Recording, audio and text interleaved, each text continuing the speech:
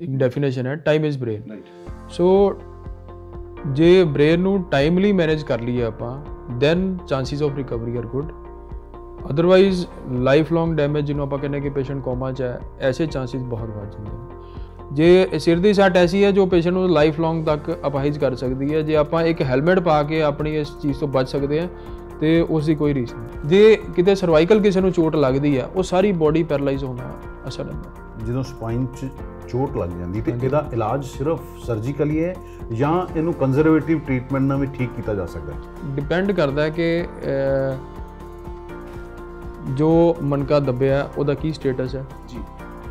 Patient ਦੀ ਲੱਤਾਂ ਦੀ power ਕਿੰਨੀ ਕੁ ਬਚੀ ਹੈ? ਜੀ। ਹੱਥਾਂ ਪੈਰਾਂ ਦੀ ਪਾਵਰ ਕਿੰਨੀ ਕੁ ਬਚੀ ਹੈ? ਕਿ ਜਿਹੜੀ ਡਿਸ ਸਰਜਰੀ ਹੈ ਉਹ ਐਂਡੋਸਕੋਪਿਕਲੀ ਬਿਲਕੁਲ ਪੋਸੀਬਲ ਹੈ ਤੇ ਈਵਨ ਜਿਹਨੂੰ ਆਪਾਂ ਕਹਿੰਦੇ ਲੋਕਲ ਐਨੈਸਥੀਸੀਆ ਲੋਕਲ ਐਨੈਸਥੀਸੀਆ ਵਿੱਚ ਵੀ ਡਿਸ ਸਰਜਰੀ ਕੀਤੀ ਜਾ ਸਕਦੀ ਹੈ ਸੇਮ ਡੇ ਜਾਂ ਨੈਕਸਟ ਡੇ ਡਿਸਚਾਰਜ ਕੀਤਾ ਜਾ ਸਕਦਾ ਪੇਸ਼ੈਂਟ डी फौज देख रहे तमाम दोस्तों को दीपक भंडारी का नमस्कार हमारे विशेष कार्यक्रम आपकी सेहत में आपका स्वागत है आज हम बात करेंगे हेड इंजरी और स्पाइन इंजरी को लेकर लगातार दुर्घटनाएं बढ़ रही हैं सर के चोट के मरीज और स्पाइन यानी कि रीढ़ की हड्डी में जो चोट लगती है उसके बाद मरीज़ को क्या करना चाहिए? इन तमाम चीज़ों को लेकर हम बात करेंगे। हमारे साथ हैं ईएमसी मल्टी स्पेशलिटी हॉस्पिटल के डॉक्टर हैं मुकेश विज ये न्यूरोसर्जन है। डॉक्टर नमस्कार। नमस्कार दीपक जी। डॉक्टर साहब हाई एंड गड्डियाँ आ गई हैं हाई स्पीड गड्डियाँ हैं। हेड इंजरी और मतलब एक्सीडेंट बहुत ਵੱਧ गए हैं ऐसे ਆંકੜੇ ਦੱਸਦੇ ਹਨ हैं। ਇਸ ਦੌਰਾਨ ਹੈਡ ਇੰਜਰੀ ਔਰ ਸਪਾਈਨ ਇੰਜਰੀ ਜਦੋਂ ਹੁੰਦੀ ਹੈ ਤੇ ਪੇਸ਼ੈਂਟ ਨੂੰ ਕਿਵੇਂ ਪਤਾ ਲੱਗੇ ਇਮੀਡੀਏਟ ਤਾਂ ਦੇਖੋ ਫਸਟ ਏਡ ਦੇ ਕਈ ਵਾਰੀ ਜੇ ਇਹ ਵੀ ਕਿਹਾ ਜਾਂਦਾ ਵੀ ਟਾਈਮ ਸਿਰ ਜੇ ਪੇਸ਼ੈਂਟ ਨੂੰ ਹਸਪੀਟਲ ਨੂੰ ਫਸਟ ਏਡ ਮਿਲ ਜਾਏ ਤੇ ਉਹਦੀ ਜਾਨ ਬਚਾਈ ਜਾ ਸਕਦੀ ਹੈ। ਪਹਿਲਾਂ ਤੇ ਸਾਰੇ ਦਰਸ਼ਕਾਂ ਨੂੰ ਨਮਸਕਾਰ। ਜਿੱਦਾਂ ਕਿ ਦੀਪਕ ਜੀ ਨੇ ਗੱਲ ਕੀਤੀ ਹੈ ਹੈਡ ਇੰਜਰੀ ਦੇ ਬਾਰੇ। ਸੋ ਪਹਿਲਾਂ ਆਪਾਂ ਹੈਡ ਇੰਜਰੀ ਦੀ ਗੱਲ ਕਰਾਂਗੇ। ਹੈਡ ਇੰਜਰੀ ਦੀਪਕ ਜੀ ਇਦਾਂ ਕਿ ਟਾਈਮ ਇਜ਼ ਬ੍ਰੇਨ ਇੱਕ ਡੈਫੀਨੇਸ਼ਨ ਹੈ time is brain right so ਜੇ ਬ੍ਰੇਨ ਨੂੰ ਟਾਈਮਲੀ ਮੈਨੇਜ ਕਰ ਲਈਏ ਆਪਾਂ then chances of recovery are good otherwise life long damage ਜਿਹਨੂੰ ਆਪਾਂ ਕਹਿੰਦੇ ਕਿ ਪੇਸ਼ੈਂਟ ਕੋਮਾ 'ਚ ਹੈ ਐਸੇ ਚਾਂਸਸ ਬਹੁਤ ਵੱਧ ਜਾਂਦੇ ਨੇ। ਹੁਣ ਗੱਲ ਇਹ ਹੈ ਕਿ ਇੱਕ ਸਾਰੇ ਲੋਕਾਂ ਦੇ ਮਨ 'ਚ ਡਰ ਹੈ ਕਿ ਜੀ ਸਿਰ ਦੀ ਸੱਟ ਹੈ ਹਾਏ ਪਤਾ ਨਹੀਂ ਕੀ ਹੋਏਗਾ।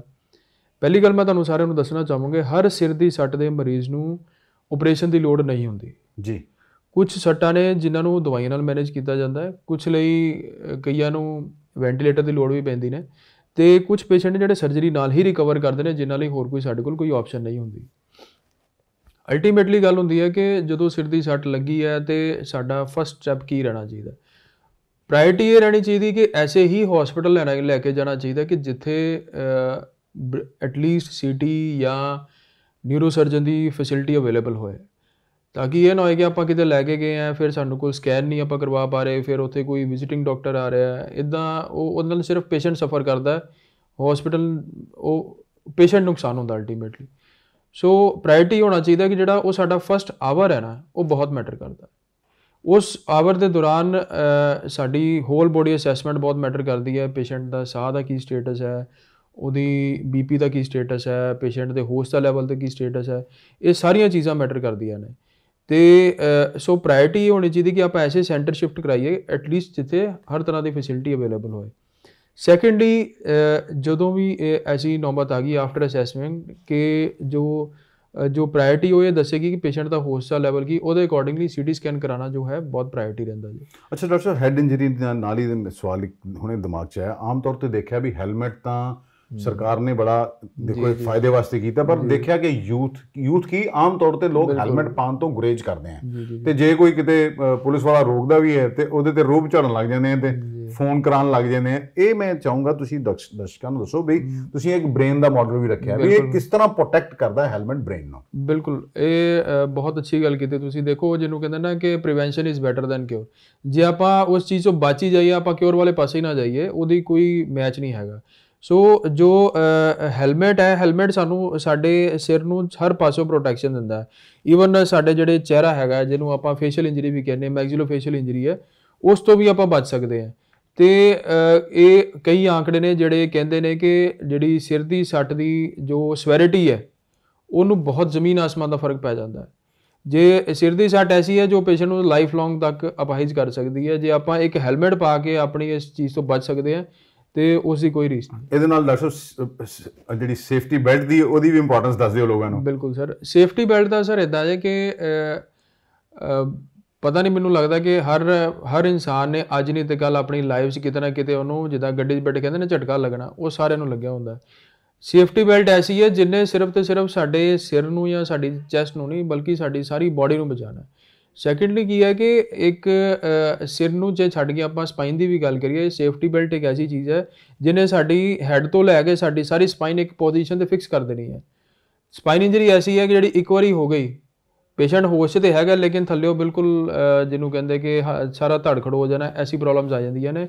ਸੋ ਇਹਨਾਂ ਦਾ ਕੋਈ ਮੈਚ ਨਹੀਂ ਹੈਗਾ ਜੇ ਆਪਾਂ ਪ੍ਰੀਵੈਂਸ਼ਨ ਲੈ ਕੇ ਚੱਲੀਏ। ਡਾਕਟਰ ਸਾਹਿਬ ਸਪਾਈਨ ਦੀ ਐਸੀ ਕੌਣ ਸੀਆਂ ਬਿਮਾਰੀਆਂ ਨੇ ਵੀ ਜਿਹਦੇ, ਜਿਹਨੂੰ ਦੇਖੋ ਸਰਜਰੀ ਦੀ ਜ਼ਰੂਰਤ ਪੈਂਦੀ ਹੈ? ਲੋਕ ਨਾ ਅੱਜ ਵੀ ਮੈਂ ਦੇਖਿਆ ਬਹੁਤ ਸਾਰੇ ਐਸੇ ਲੋਕ ਨੇ ਜਿਹੜੇ ਬਾਬਿਆਂ ਦੇ ਚੱਕਰ 'ਚ ਪੈ ਜਾਂਦੇ ਨੇ ਜਿਹਨੂੰ ਕਹਿੰਦੇ ਵੀ ਸਿਆਣਾ ਹੈਗਾ ਤੇ ਸਿਆਣੇ ਨੇ ਤੇ ਕੀ ਕਰਨਾ ਹੈ ਬਟ ਉਹ ਐਜੂਕੇਟ ਕਰਨਾ ਸੀ ਲੋਕਾਂ ਨੂੰ। ਸਰ ਇੱਕ ਆਪਾਂ ਬੇਸਿਕਸ ਤੋਂ ਸਟਾਰਟ ਕਰਾਂਗੇ। ਹੁਣ ਸਰ ਸਪਾਈਨ ਹੈ। ਆ ਦੇਖੋ ਤੁਸੀਂ ਸਪਾਈਨ ਵੱਲ ਦੇਖੋਗੇ ਤੇ ਇਹ ਸਾਡੇ ਸਰੀਰ ਦਾ ਢਾਂਚਾ ਹੈ। ਜੀ। ਸਾਡੀ ਇਹ weight bearing ਸਟਰਕਚਰ ਹੈ ਸਾਡੀ ਬੋਡੀ ਦਾ। ਜੀ। ਇਹ ਸਿਰਫ ਤੇ ਸਿਰਫ weight bearing ਨਹੀਂ ਹੈ ਇਹਦੇ ਜਿਹੜੇ ਆ ਤੁਸੀਂ ਆ ਦੇਖ ਰਹੇ ਹੋ ਇਹਦੇ ਵਿੱਚੋਂ ਦੀ ਸਾਰੀ ਬ੍ਰੇਨ ਤੋਂ ਜਿਹੜੀ ਨਾੜਾਂ ਨਿਕਲ ਰਹੀਆਂ ਨੇ ਉਹ ਇਸ ਟਨਲ ਦੇ ਥਰੂ ਹੋ ਕੇ ਉਹਨਾਂ ਨੇ ਆਪਣੀ ਆਪਣੀ ਡੈਸਟੀਨੇਸ਼ਨ ਤੇ ਪਹੁੰਚਣੀ ਹੈ ਜੀ। ਸਰਵਾਈਕਲ ਵਾਲੇ ਪੋਰਸ਼ਨ ਤੋਂ ਜਿਹੜੀਆਂ ਨਾੜਾਂ ਹੁੰਦੀਆਂ ਉਹ ਸਾਡੀ ਸਾਰੀ ਆਰਮਸ ਤੇ ਸਾਡੇ ਹੈਡ ਪੋਰਸ਼ਨ ਨੂੰ ਚਲਾਉਂਦੀਆਂ ਨੇ। ਜੀ ਜੀ। ਫਿਰ ਜਿਹੜੀ ਧੜ ਦੀ ਪੋਰਸ਼ਨ ਇਹ ਸਾਡੇ ਸਾਰੇ ਡੋਰਸਲ ਪੋਰਸ਼ਨ ਜਿਹੜਾ ਹੈਗਾ ਸਾਡੇ ਧੜ ਦੇ ਪੋਰਸ਼ਨ ਨੂੰ ਚਲਾਉਂਦੀ ਹੈ ਜੀ। ਜਿਹੜੀ ਲੰਬਰ ਪੋਰਸ਼ਨ ਹੈ ਜਿਹੜੀ ਮੋਸਟਲੀ ਆਪਾਂ ਦੇਖਦੇ ਹਾਂ ਕਿ ਜੀ ਮੇਰੇ ਬੈਕ ਏਕ ਹੈ ਇਹ ਸਾਡੀ ਲੱਤਾਂ ਦੇ ਪੋਰਸ਼ਨ ਨੂੰ ਕੰਟਰੋਲ ਕਰਦੀ ਆ ਜੀ ਜੀ। ਸੋ ਇੱਕ ਹਰ ਪੋਰਸ਼ਨ ਦਾ ਇੱਕ ਆਪਣੇ ਆਪਣੀ ਰੈਲੇਵੈਂਸ ਹੈ। ਰੱਬ ਨਾ ਕਰੇ ਸਰਵਾਈਕਲ ਦੇ ਕਿਸੇ ਨੂੰ ਸੱਟ ਲੱਗੇ ਤਾਂ ਹੁਣ ਜਿਹੜੀ ਉਹ ਤੋਂ ਬ੍ਰੇਨ ਤੋਂ ਨਾੜਾਂ ਨਿਕਲੀਆਂ ਸਭ ਤੋਂ ਪਹਿਲਾਂ ਉਹਨਾਂ ਦੀ ਕਲੰਪਿੰਗ ਸਰਵਾਈਕਲ ਚ ਹੋਈਦੀ ਹੈ। ਜੇ ਕਿਤੇ ਸਰਵਾਈਕਲ ਕਿਸੇ ਨੂੰ ਚੋਟ ਲੱਗਦੀ ਹੈ ਉਹ ਸਾਰੀ ਬਾਡੀ ਪੈਰਲਾਈਜ਼ ਹੋਣਾ ਅਸਰ ਹੁੰਦਾ। ਕਿਉਂਕਿ ਇੱਥੇ ਸਾਰੀ ਨਾੜਾਂ ਦੀ ਕਲੰਪਿੰਗ ਹੈ। ਜਦੋਂ ਇੱਥੋਂ ਨਾੜਾਂ ਨਿਕਲ ਗਈਆਂ ਜੇ ਰੱਬ ਨਾ ਕਰੇ ਕਿਸੇ ਨੂੰ ਡੋਰਸਲ ਤੇ ਸੱਟ ਲੱਗਦੀ ਹੈ ਫਿਰ ਉਹਦੇ ਸਭ ਤੋਂ ਜ਼ਿਆਦਾ ਧੜਕ ਲਾਉਣ ਦੇ ਚਾਂਸਸ ਹੁੰਦੇ ਨੇ। ਜੇ ਕਿਸੇ ਦਾ ਲੰਬਰ ਪੋਰਸ਼ਨ 'ਚ ਕਿਤੇ ਦੀ ਕਿਸੇ ਦੀ ਕੋਈ ਫ੍ਰੈਕਚਰ ਹੁੰਦਾ ਹੈ ਫਿਰ ਆਪਾਂ ਕਹਿੰਦੇ ਜੀ ਕਿਸੇ ਦਾ ਪੈਰ ਨਹੀਂ ਚੱਲਦਾ ਜਾਂ ਲੱਤ ਨਹੀਂ ਉੱਠਦੀ ਇੰਨਾ ਕੁ ਅਸਰ ਆਉਂਦਾ। ਸੋ ਸਪਾਈਨ ਦਾ ਧਿਆਨ ਰੱਖਣਾ ਬਹੁਤ ਜ਼ਰੂਰੀ ਹੈ। ਸੱਟ ਇੱਕ ਆਪਣੀ ਜਗ੍ਹਾ ਹੈ ਲੇਕਿਨ ਜਿਹੜੀ ਜਿੱਦਾਂ ਡਿਸਕ ਪ੍ਰੋਬਲਮ ਹੈ ਜਾਂ ਹੋਰ ਕਈ ਇਨਫੈਕਸ਼ਨ ਪ੍ਰੋਬਲਮ ਹੁੰਦੀਆਂ ਨੇ ਜਿਹੜੀ ਸਪਾਈਨ ਦੀਆਂ ਉਹ ਉਹ- ਉਹਨੂੰ ਪ੍ਰੋਪਰਲੀ ਮੈਨੇਜ ਕਰਨਾ ਸਹੀ ਡਾਕਟਰ ਕੋਲ ਜਾਣਾ ਉਹਦੀ ਪ੍ਰੋਬਲਮ ਨੂੰ ਸਮਝਣਾ ਬਹੁਤ ਜ਼ਰੂਰੀ ਹੈ ਸਰ। ਡਾਕਟਰ ਸਾਹਿਬ ਸਪਾਈਨ ਦੇਖੋ ਕਿਆ ਜਦੋਂ ਸਪਾਈਨ 'ਚ ਚੋਟ ਲੱਗ ਜਾਂਦੀ ਤੇ ਇਹਦਾ ਇਲਾਜ ਸਿਰਫ ਸਰਜੀਕਲੀ ਹੈ ਜਾਂ ਇਹਨੂੰ ਕੰਜ਼ਰਵੇਟਿਵ ਟ੍ਰੀਟਮੈਂਟ ਨਾਲ ਵੀ ਠੀਕ ਕੀਤਾ ਜਾ ਸਕਦਾ ਹੈ? ਬਹੁਤ ਅੱਛੀ ਗੱਲ ਪੁੱਛੀ ਸਰ ਤੁਸੀਂ। ਸਰ ਇਦਾਂ ਹੈ ਕਿ ਡਿਪੈਂਡ ਕਰਦਾ ਹੈ ਕਿ ਜੋ ਮਨਕਾ ਦੱਬਿਆ ਉਹਦਾ ਕੀ ਸਟੇਟਸ ਹੈ? ਜੀ। ਪੇਸ਼ੈਂਟ ਦੀ ਲੱਤਾਂ ਦੀ ਪਾਵਰ ਕਿੰਨੀ ਕੁ ਬਚੀ ਹੈ? ਜੀ। ਹੱਥਾਂ ਪੈਰਾਂ ਦੀ ਪਾਵਰ ਕਿੰਨੀ ਕੁ ਬਚੀ ਹੈ? ਤੇ ਨਾੜਾਂ ਤੇ ਕਿੰਨਾ ਕੁ ਪ੍ਰੈਸ਼ਰ ਹੈਗਾ? ਜੀ। ਫਿਰ ਕੁਝ ਫੈਕਟਰਸ ਆਉਂਦੇ ਨੇ ਜੋ ਸਾਡੇ ਲਈ ਬਹੁਤ ਮਾਇਨੇ ਰੱਖਦੇ। ਮੰਨ ਲਓ ਕੋਈ ਪੇਸ਼ੈਂਟ ਹੈਗਾ ਜਿਹੜਾ 70 ਜਾਂ 75 ਸਾਲ ਦੀ ਜਿਹਦੀ ਏਜ ਹੈ 80 ਇਅਰਸ ਦੀ ਏਜ ਹੈ। ਜੀ। ਉਸ ਆਪਾਂ ਇਹ ਵੀ ਫੈਕਟਰ ਮੈਟਰ ਕਰਦੇ ਨੇ ਕਿ ਆਪਾਂ ਸਰਜੀਕਲ ਚੱਲਣਾ ਜਾਂ ਕੰਜ਼ਰਵੇਟਿਵ ਚੱਲਣਾ। ਮੋਸਟਲੀ ਜਿਹੜੇ ਸਪਾਈਨ ਦੀ ਇੰਜਰੀਜ਼ ਹੈਗੀਆਂ ਨੇ ਇੱਕ ਏਜ ਗਰੁੱਪ ਆਪਾਂ ਲੈ ਕੇ ਚੱਲੀਏ ਅਗਰ 18 ਦੀ ਏਜ 16 ਦੀ ਏਜ ਤੋਂ ਲੈ ਕੇ ਤੇ 60 ਇਅਰਸ ਦੀ ਏਜ ਤੱਕ ਕੋਈ ਸਪਾਈਨ ਇੰਜਰੀ ਹੈਗੀ ਤੇ ਡੈਫੀਨਿਟਲੀ ਜੇ ਕੰਪਰੈਸ਼ਨ ਜ਼ਿਆਦਾ ਹੈ ਤੇ ਉਹਨੂੰ ਸਰਜੀਕਲੀ ਹੀ ਕਰੈਕਟ ਕੀਤਾ ਜਾਂਦਾ ਹੈ। ਡਾਕਟਰ ਸਾਹਿਬ ਪੋਸਚਰ ਬੈਠਣਾ ਸਪਾਈਨ ਨੂੰ ਕਿਸ ਤਰ੍ਹਾਂ ਅਫੈਕਟ ਕਰਦਾ ਹੈ? ਜੇ ਅਸੀਂ ਠੀਕ ਨਹੀਂ ਬੈਠਦੇ ਜਾਂ ਬਹੁਤ ਜ਼ਿਆਦਾ ਸਿਟਿੰਗ ਲੈਂਦੇ ਆ ਤੇ ਉਹ ਅਫੈਕਟ ਕਰਦਾ ਹੈ? ਬਿਲਕੁਲ। ਬਹੁਤ ਅੱਛਾ ਕੁਐਸਚਨ ਹੈ ਦੀਪਕ ਜੀ ਕਿ ਇਹ ਇਹ ਚੀਜ਼ਾਂ ਆਪਾਂ ਰੂਟੀਨ ਲਾਈਫ 'ਚ ਸਫਰ ਕਰਦੇ ਆ। ਹੁਣ ਕਈ ਲੋਕ ਹੈ ਜਿਨ੍ਹਾਂ ਦੀ ਹੈ ਹੀ ਸਿਟਿੰਗ ਜੌਬ ਹੈ ਜਿਨ੍ਹਾਂ ਨੂੰ 8-8 10-10 ਘੰਟੇ ਬੈਠਣਾ ਪੈਂਦਾ ਹੈ ਜੀ। ਪਿੱਛੇ ਕੋਵਿਡ ਰਿਹਾ ਸਾਰਾ ਵਰਕਆਊਟ ਵਰਕ ਐਟ ਹੋਮ ਹੈ ਲੋਕ ਲੌਂਗ ਸਿਟਿੰਗ ਚੱਲਦੀ ਪਈ ਹੈ ਜੀ ਜੀ ਜੀ। ਸੋ ਐਸੀ ਕੰਡੀਸ਼ਨਸ ਮੈਂ ਇੱਕ ਜਨਰਲੀ ਮੇਰੇ ਕੋਲ ਪੇਸ਼ੈਂਟਸ ਵੀ ਆਉਂਦੇ ਨੇ ਮੈਂ ਇੱਕ ਸਲਾਹ ਸਾਰਿਆਂ ਨੂੰ ਦਿੰਦਾ ਕਿ ਪ੍ਰੋਲੋਂਗਡ ਸਿਟਿੰਗ ਸਾਨੂੰ ਅਵੋਇਡ ਕਰਨੀ ਚਾਹੀਦੀ ਹੈ ਦੇਖੋ ਇੱਕ ਤਾਂ ਕੀ ਹੈ ਪ੍ਰੋਲੋਂਗ ਸਿਟਿੰਗ ਨਾਲ ਸਾਡੇ ਮਸਲਸ ਜੋ ਨੇ ਉਹ ਵੀਕ ਹੋ ਜਾਂਦੇ ਨੇ। ਜੀ। ਜਿੰਨੀ ਦੇਰ ਤੱਕ ਸਾਡੀ ਬਾਡੀ ਯੂਜ਼ 'ਚ ਰਹਿੰਦੀ ਹੈ ਜਦੋਂ ਆਪਾਂ ਸਾਰੇ ਮਸਲ ਯੂਟਿਲਾਈਜ਼ ਹੁੰਦੇ ਨੇ ਉਹਨਾਂ ਦੇ ਇੱਕ ਟੋਨ ਤੇ ਉਹਨਾਂ ਦੀ ਇੱਕ ਸਟਰੈਂਥ ਮੇਨਟੇਨ ਰਹਿੰਦੀ ਹੈ। ਜਦੋਂ ਆਪਣੀ ਸਿਟਿੰਗ ਪੋਜੀਸ਼ਨ ਕਰਕੇ ਮਸਲ ਰਿਲੈਕਸ ਹੋ ਜਾਂਦੇ ਨੇ ਸਾਡੀ ਸਪਾਈਨ ਤੇ ਸਟ੍ਰੈਸ ਆਣਾ ਸ਼ੁਰੂ ਹੋ ਜਾਂਦਾ ਹੈ। ਓਕੇ ਕਿ ਮਸਲਸ ਦਾ ਕੰਮ ਹੈ ਸਪਾਈਨ ਨੂੰ ਸਪੋਰਟ ਕਰਨਾ। ਉਹਦਾ ਬੈਲੈਂਸ ਇੱਕ ਇੱਕ ਪੋਜੀਸ਼ਨ ਨੂੰ ਮੇਨਟੇਨ ਕਰਕੇ ਰੱਖਣਾ। ਹੁਣ ਤੁਸੀਂ ਇੱਕ ਦੇਖੋ ਇਹ ਸਪਾਈਨ ਸਟ੍ਰੇਟ ਨਹੀਂ ਹੈ ਇਹ ਕਰਵੇਚਰ ਹੈ ਇਹਦਾ। ਜੀ ਜੀ ਜੀ ਜੀ ਹਾਂ ਜੀ। ਔਰ ਜੇ ਰੱਬ ਨੇ ਕਰਵੇਚਰ ਦਿੱਤਾ ਜੇ ਆਪਾਂ ਉਸ ਕਰਵੇਚਰ ਨੂੰ ਮੇਨਟੇਨ ਨਹੀਂ ਕਰਾਂਗੇ ਜਦੋਂ ਆਪਾਂ ਸਟੈਂਡਿੰਗ ਪੋਸਚਰ ਹੈ ਤਾਂ ਸਾਡਾ ਬਿਲਕੁਲ ਇੱਕ ਬਿਲਕੁਲ ਆਪਾਂ ਸਾਹਮਣੇ ਦੇਖਦੇ ਪਏ ਹਾਂ ਤੇ ਸਾਡਾ ਇੱਕ ਪੋਸਚਰ ਨੈਚੁਰਲੀ ਮੇਨਟੇਨ ਰਹਿੰਦਾ ਜੀ ਜੀ। ਪਰ ਜਦੋਂ ਆਪਾਂ ਇਸ ਪੋਸਚਰ ਨੂੰ ਐਗਜ਼ੈਜਰੇਟ ਕਰਦੇ ਹਾਂ ਤੇ ਉਹ ਸਾਡੀ ਅਲਟੀਮੇਟਲੀ ਡਿਸਕ ਤੇ ਪ੍ਰੈਸ਼ਰ ਆਂਦਾ ਸਾਡੀ ਨਰਵਸ ਤੇ ਪ੍ਰੈਸ਼ਰ ਆਂਦਾ ਜੀ। ਉਹ ਜਿਹਨੂੰ ਮੇਨਟੇਨ ਕਰਨਾ ਬਹੁਤ ਜ਼ਰੂਰੀ ਹੈ। ਜੇ ਤੁਸੀਂ ਗੱਲ ਕੀਤੀ ਕਿ ਪ੍ਰੋਲੋਂਗ ਸਿਟਿੰਗ ਨਹੀਂ ਸਾਨੂੰ ਪ੍ਰੋਲੋਂਗ ਸਿਟਿੰਗ ਅਵੋਇਡ ਕਰਨੀ ਚਾਹੀਦੀ ਹੈ ਚਾਹੇ ਬੰਦਾ 15 ਮਿੰਟ ਦੀ ਬ੍ਰੇਕ ਲੈ ਲੇ ਲੇਕਿਨ ਉੱਠ ਕੇ ਇੱਕ ਵਾਰੀ ਬਾਡੀ ਨੂੰ ਸਟ੍ਰੈਚ ਕਰਨਾ ਬਹੁਤ ਜ਼ਰੂਰੀ ਹੈ। ਤੇ ਡਾਕਟਰ ਡਿਸਕ ਪ੍ਰੋਲੈਪਸ ਕੀ ਹੈ ਤੇ ਕਿਆ ਇਹਦੇ ਵੀ ਕੇਸ ਇਸ ਕਰਕੇ ਵੱਧ ਰਹੇ ਬਿਕੋਜ਼ ਸਿਟਿੰਗ ਜੌਬ ਜ਼ਿਆਦਾ ਹੈ ਇਹਦਾ ਕੋਈ ਹੋਰ ਕਾਰਨ ਹੈ? ਦੀਪਕ ਜੀ ਇਦਾਂ ਕਿ ਜੋ ਡਿਸਕ ਪ੍ਰੋਲੈਪਸ ਹੈ ਕੀ ਹੈ ਕਿ ਬੇਸਿਕਲੀ ਹੁਣ ਜਿੱਦਾਂ ਤੁਸੀਂ ਇਹ ਦੇਖੋਗੇ ਕਿ ਇਹ ਵਰਟੀਬ੍ਰਾਸ ਨੇ ਮਣਕੇ ਜਿਹਨੂੰ ਆਪਾਂ ਕਹਿੰਦੇ ਜੀ ਜੀ ਜੀ। ਇਹਨਾਂ ਵਿੱਚ ਆ ਜਿਹੜਾ ਟਰਾਂਸਪੇਰੈਂਟ ਪੋਰਸ਼ਨ ਹੈ ਦੈਟ ਇਜ਼ ਹਾਂਜੀ ਹਾਂਜੀ ਇਹ ਡਿਸਕ ਹੈ। ਜੀ। ਹੁਣ ਜਿਹੜੇ ਮਣਕੇ ਨੇ ਦੇ ਆਰ ਲਾਈਕ ਜਿੱਦਾਂ ਤੁਸੀਂ ਕਹ ਲਓ ਕਿ ਇੱਟ ਹੈ ਜਾਂ ਪੱਥਰ ਹੈ। ਜੀ। ਠੀਕ ਹੈ। ਹੁਣ ਆਪਾਂ ਪੱਥਰ ਦੇ ਉੱਪਰ ਪੱਥਰ ਰੱਖ ਦਈਏ ਤੇ ਉਹਦੀ ਕੋਈ ਉਹ ਚ ਕੋਈ ਫਲੈਕਸੀਬਿਲਟੀ ਨਹੀਂ ਹੈ। ਮੂਵਮੈਂਟ ਨਹੀਂ ਹੋਗੀ ਉਹਦੀ। ਹੁਣ ਜੇ ਇਹ ਰੱਬ ਦੀ ਕ੍ਰੀਏਸ਼ਨ ਐਸੀ ਹੈ ਕਿ ਰੱਬ ਨੇ ਇਹ ਚ ਡਿਸਕ ਪਾ ਦਿੱਤੀ ਹੈ ਜੋ ਕਿ ਇੱਕ ਰਬੜ ਲਾਈਕ ਸਟਰਕਚਰ ਹੈ ਜਿਹਦੇ ਨਾਲ ਸਾਡੀ ਚ ਫਲੈਕਸੀਬਿਲਟੀ ਹੈ। ਜੀ। ਹੁਣ ਜਦੋਂ ਡਿਸਕ ਤੇ ਸਟ੍ਰੈਸ ਆਂਦਾ ਹੈ ਤੇ ਕੁਝ ਪੋਰਸ਼ਨ ਉਹਦਾ ਪ੍ਰੋਟਿਊਡ ਕਰਕੇ ਇਹ ਪਿੱਛੇ ਨਰਵਸ ਨੂੰ ਪ੍ਰੈਸ ਕਰਦਾ। ਓਕੇ। ਠੀਕ ਹੈ। ਜਦੋਂ ਆਪਾਂ ਸਾਡੀ ਫਲੈਕਸੀ ਜਦੋਂ ਆਪਾਂ ਜ਼ਿਆਦਾ ਬੈਂਡ ਹੁੰਨੇ ਆ ਤੇ ਇੱਕ ਨੈਚੁਰਲ ਹੈ ਕਿ ਜਿਹੜੀ ਡਿਸਕ ਹੈ ਮਣਕੇ ਤੇ ਫਿਸਣਗੇ ਨਹੀਂ। ਜੀ। ਡਿਸਕ ਪ੍ਰੋਟਿਊਡ ਕਰਕੇ ਨਰਵਸ ਨੂੰ ਪ੍ਰੈਸ ਕਰੇਗੀ। ਜੀ ਜੀ। ਸੋ ਐਸੇ ਕੇਸ ਜਿਹੜਾ ਅਲਟੀਮੇਟਲੀ ਫਿਰ ਗੱਲ ਉੱਥੇ ਹੈ ਕਿ ਪੋਸਚਰ ਬਹੁਤ ਮੈਟਰ ਕਰਦਾ। ਹੁਣ ਡਿਪੈਂਡ ਕਰਦਾ ਕਿ ਸਰਜੀਕਲ ਕਿਹੜਾ ਪੇਸ਼ੈਂਟ ਹੈ ਜਾਂ ਕਿਹੜਾ ਨਹੀਂ ਹੈ? ਜੀ। ਲੋਕ ਇਹੀ ਡਰ ਜਾਂਦੇ ਨੇ ਕਿ ਹਾਏ ਆਪਾਂ ਸਰਜਰੀ ਨਹੀਂ ਕਰਾਣੀ ਦੇਖੋ ਮੈਂ ਇੱਕ ਗੱਲ ਕਰਾਂਗਾ 100 ਚੋਂ 90% ਪੇਸ਼ੈਂਟ ਜਿਹੜੇ ਹੁੰਦੇ ਨੇ ਸਪਾਈਨ ਦੇ ਉਹ ਦਵਾਈਆਂ ਨਾਲ ਹੀ ਮੈਨੇਜ ਹੁੰਦੇ ਨੇ। ਦਵਾਈਆਂ ਨਾਲ ਪੋਸਚਰ ਨਾਲ ਐਕਸਰਸਾਈਜ਼ ਨਾਲ ਫਿਜ਼ੀਓਥੈਰੇਪੀ ਨਾਲ. ਇਹਨਾਂ ਨਾਲ ਹੀ ਫ਼ਰਕ ਪੈ ਜਾਂਦਾ। 10 8 ਤੋਂ 10% ਪੇਸ਼ੈਂਟ ਨੇ ਸਾਨੂੰ ਗੱਲ ਹੈ ਕਿ ਸਰਜਰੀ ਦੀ ਲੋੜ ਪੈਂਦੀ ਕਿਹਨਾਂ ਨੂੰ ਹੈ? ਜੀ।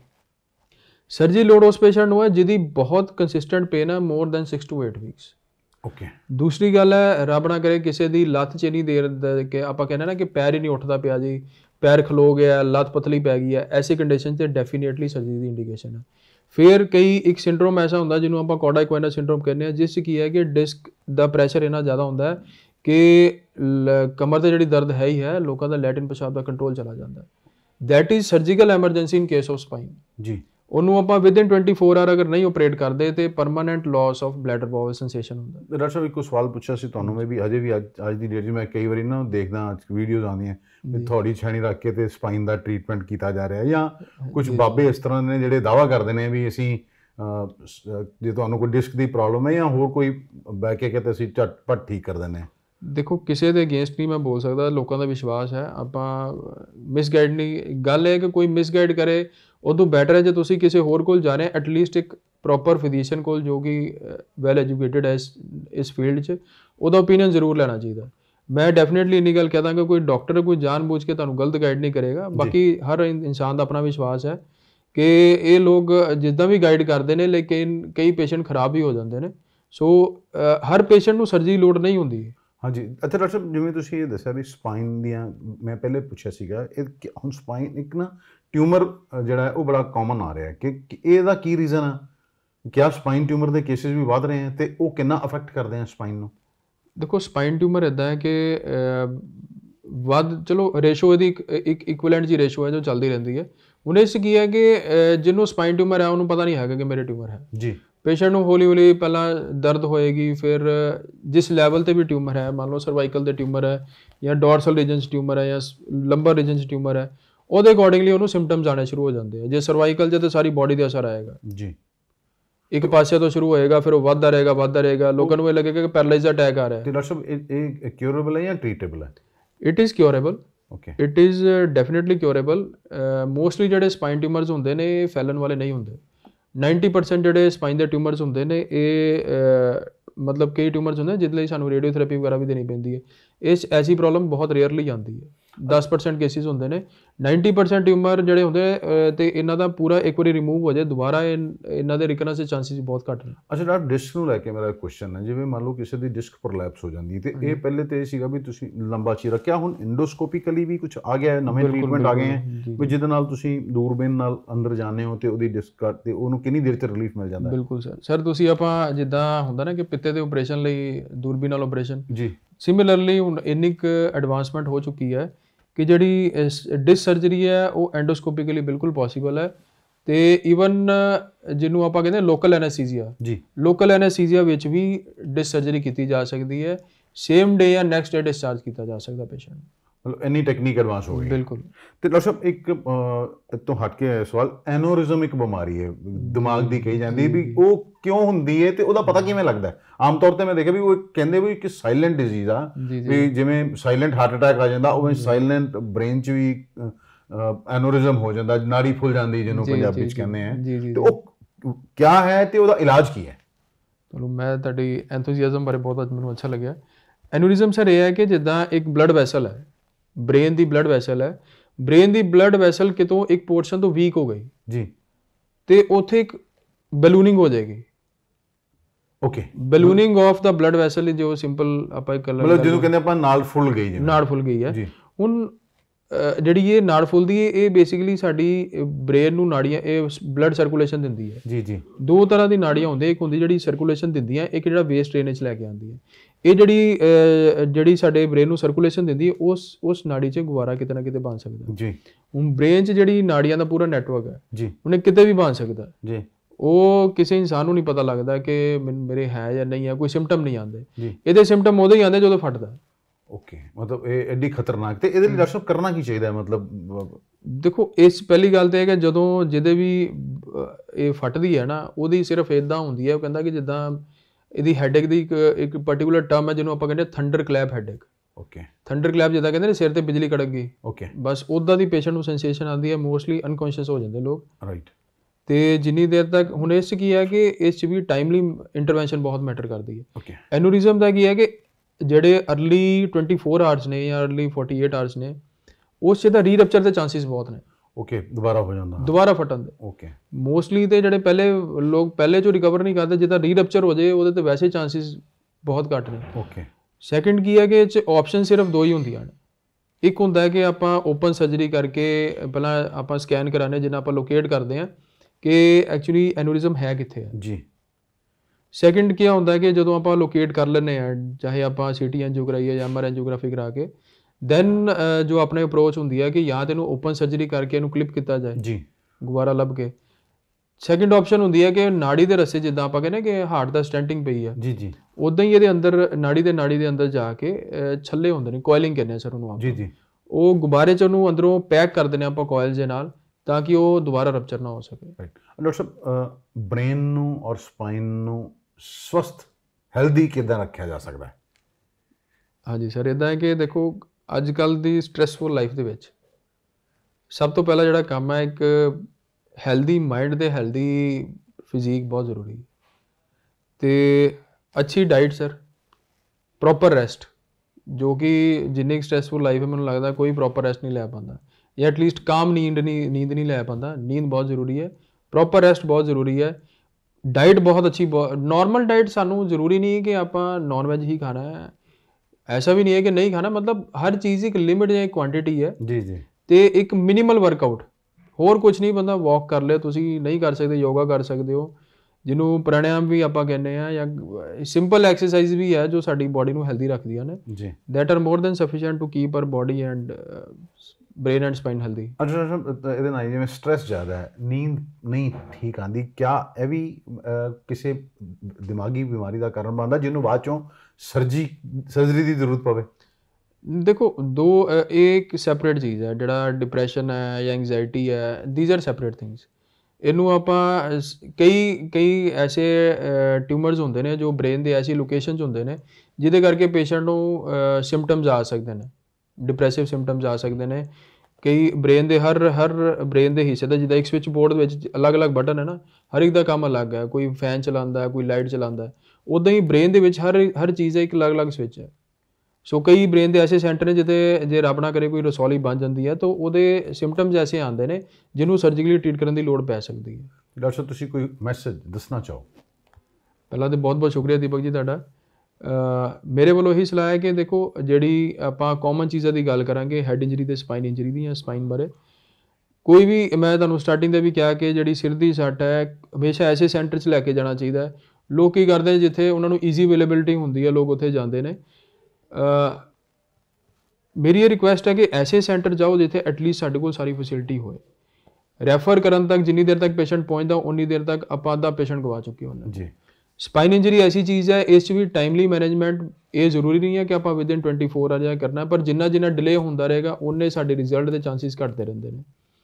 ਸੋ ਮੇਰੀ ਇਹ ਰਿਕੁਐਸਟ ਹੈ ਕਿ ਐਸੇ ਜਿੱਥੇ ਹਰ ਤਰ੍ਹਾਂ ਹੁਣ ਮੈਂ ਡੈਫੀਨਿਟਲੀ ਈਐਮਸੀ ਦੀ ਗੱਲ ਕਰਾਂਗਾ ਸਾਡੇ ਕੋਲ ਇੱਥੇ ਇਨ ਹਾਊਸ ਸੀਟੀ ਸਕੈਨ ਹੈ 24 ਆਵਰ ਅਵੇਲੇਬਿਲਟੀ ਹੈ of neurosurgeon orthopaedician plastic surgeon and one of the best ICUs in the ji in the city also.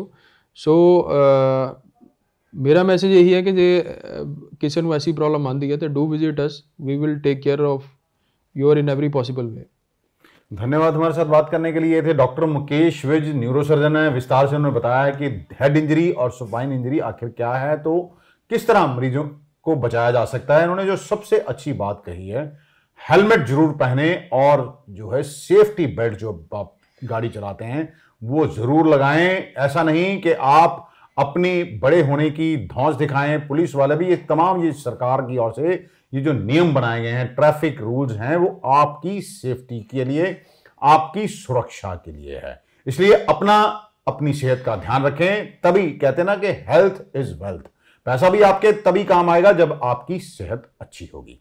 Amritsar से डी के लिए दीपक भंडारी की खास रिपोर्ट